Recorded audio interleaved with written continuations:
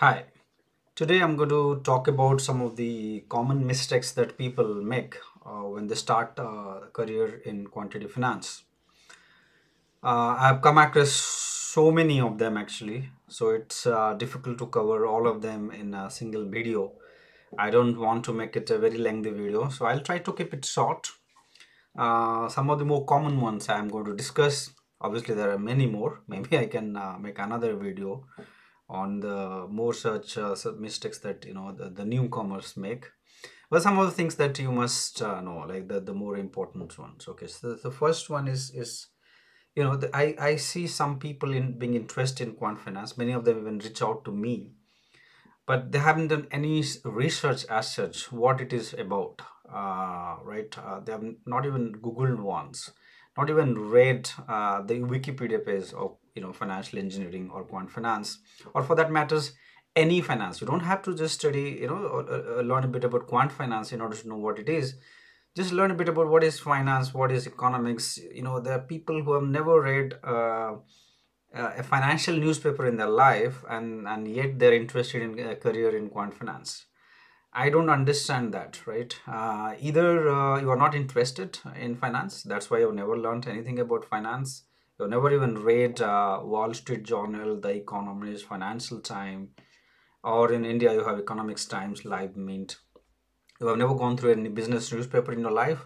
You've never read a business magazine. You have never uh, been interested in the field of finance. You have no interest in personal finance you know then I, I have no clue as to how you can ever be interested in the field of quant finance. So i think it's good to even have um you know some uh, basic understanding of finance before even you aspire to become a quant right? Uh do do reading watch some movies. If you're not into reading you know just watch some movies related to finance and banking. There are many good documentaries on youtube. Just go and watch some of these uh, documentaries on financial crisis uh, you know there, there there is a documentary uh, i think bbc documentary or even the economist documentary on financial crisis 2008 financial crisis uh, the great depression of 1920s and 30s you know just you know just watch some of these videos uh, read the wikipedia page of uh, of various you know uh, financial terms. Just uh, there is a site called um mm, what is that called? Investopedia right? Just uh, you know go through some of the articles right? You will you will know uh, quite a bit about uh, finance and whether that interests you or not. Uh, right? And there, there's another section of the people who make this classic mistake right? Uh, people think that they're going to do you know mathematical research you know? Um, more recently some people reached out to me i think two of them uh, heavy into heavily into mathematics um, theoretical physics. Uh, the thing that you know quant finance is such a, an academic area right? It's a highly academic area where they will do mathematical research and that's it. Mathematics is everything that is um, uh, that is there in, in quant finance. Uh, it's uh, it's not correct. Obviously it's a very mathematical field. It's a very technical field.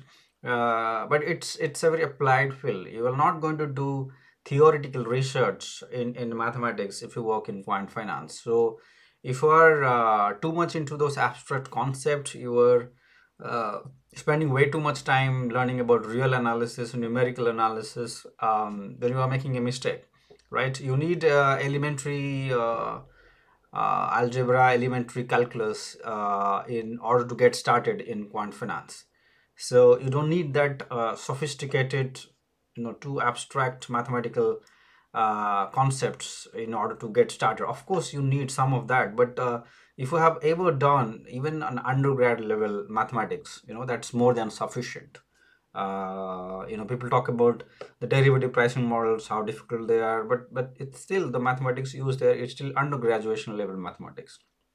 So uh, yeah don't, don't spend too much time learning about uh, you know postgraduate level mathematics or research level mathematics probably that's not going to be of much use. Uh, some people though you know a lot of physics theories are used in field of finance so let's you know study quantum mechanics in detail. Uh, pretty much useless in the field of quantum finance. So if you're going to spend uh, let's say uh, six months learning quantum quantum mechanics because you want to work in quantum finance that's a very bad idea. Um, yeah then there is another section of people um, who are uh, too much into coding right? Um, and and you know they know they, a lot of them are compute from computer science background. So for them is like quant finance is is all about uh, coding right? Writing code in python or c++ there's just too much into it. Actually indeed they're right. Actually some of the quant finance stuff is heavily into coding especially implementing uh, algorithm is, is heavily into coding uh, many companies build softwares around uh, algorithms so they do need uh, you know software developers working for them. And you know i consider them as quants as well. Anybody who works with models doesn't have to build models but anybody who is uh, is working around uh, mathematical modeling is a quant in my view right? If you're working for bloomberg for example as a software engineer and you're you know implementing some of the algorithms uh, why not? You can call yourself a quant. That's fine right? Maybe you're targeting just a, one type of quantitative job but uh, you know make no mistake to to uh, to you know sort of uh, assume that uh, you know quantitative finance is all about coding.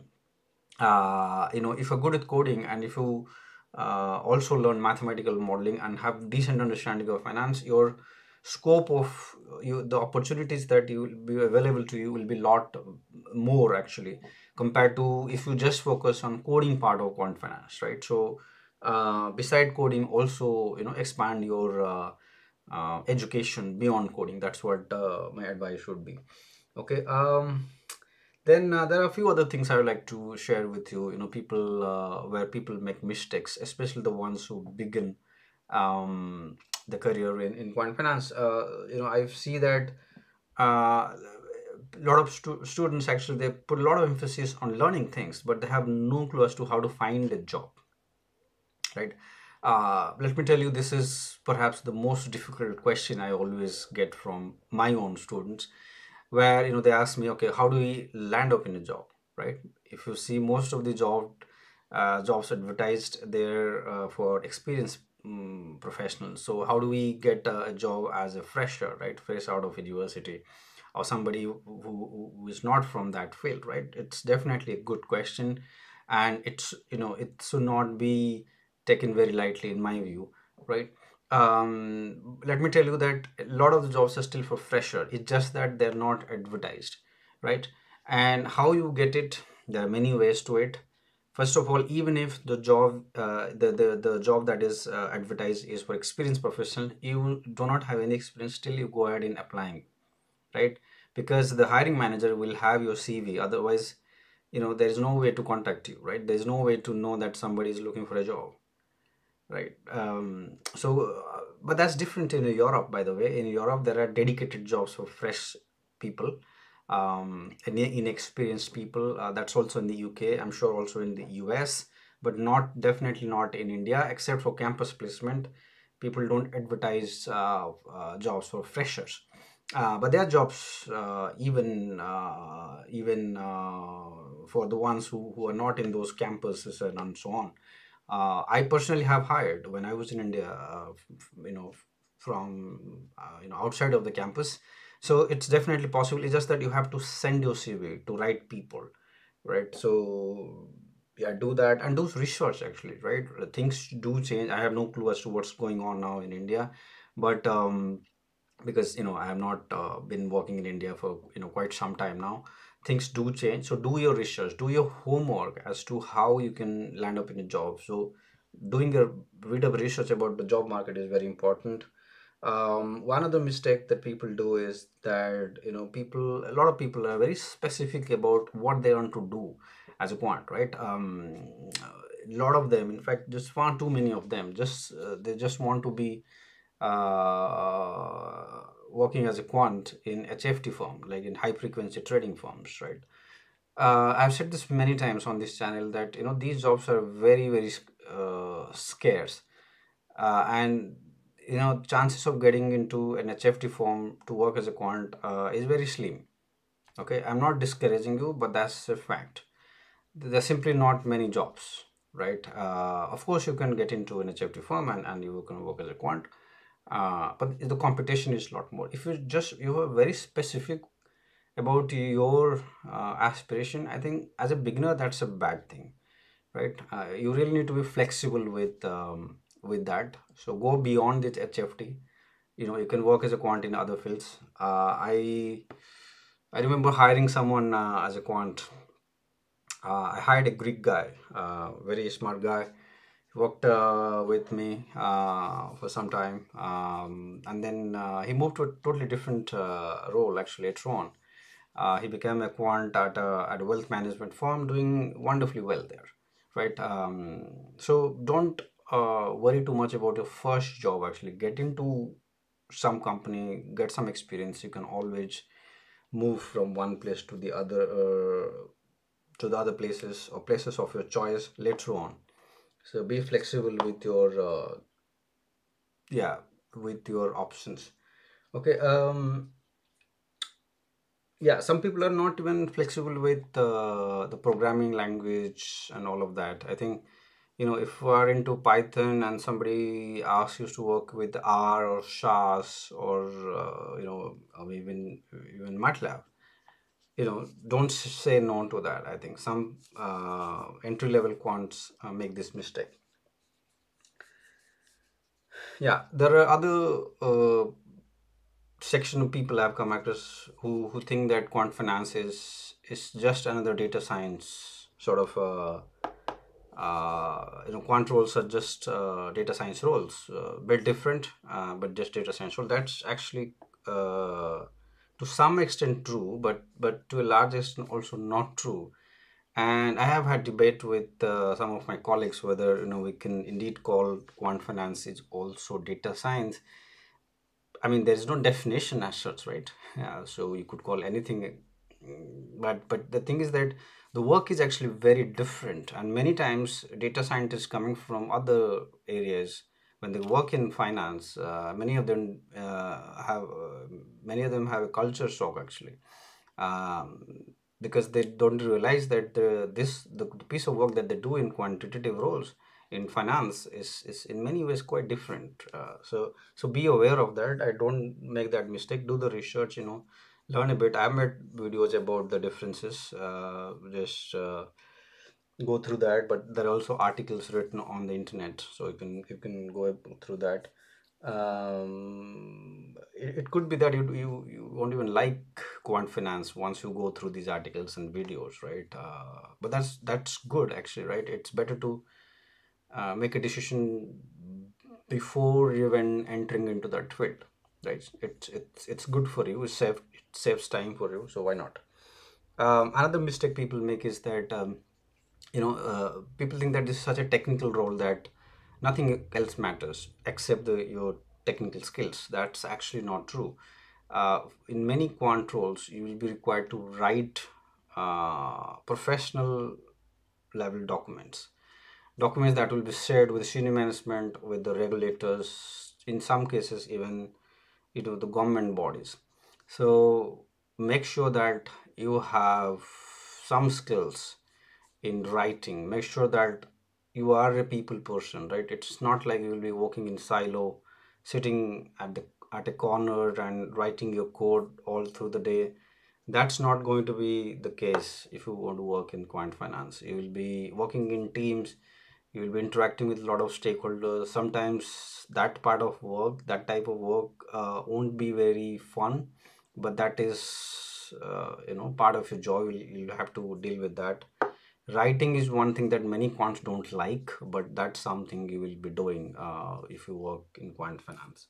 So make sure that you have some experience with writing documents or uh, you know making presentation and and and and on, mm, those non-quantitative skills are also very important or the soft skills. So these are some of the common mistakes i have seen people making when they start their career uh, in quant there are actually many more right um, one very in fact i would like to add one more thing here is that uh, after people start career in quant finance uh, a lot of them actually they are stuck in that you know the quantitative um area. Like they really want to specialize in models and, and programming languages and so on and so forth. But uh, many of them have no interest in understanding the business or or the products and and the regulations and so on and so forth. Um, initially uh, these things won't matter but uh, this these things will matter a lot once you become a senior analyst or senior expert. Then these things will matter a lot because you'll be interacting with people from front office um, even at a junior level you could be interacting with people from front office. So that uh, will make it uh, you know very difficult for you unless you speak their language right? You won't be able to communicate with them. So very important that you pay attention to you know products and the regulations the markets and so on and so forth. Not as a, a fresher someone who is uh, you know looking to get a job in in quant finance but once you get a job i think that that's something to keep in mind right? Because before you get a job it's very difficult to you know um, have good understanding of products and, and markets and how things work in the real world.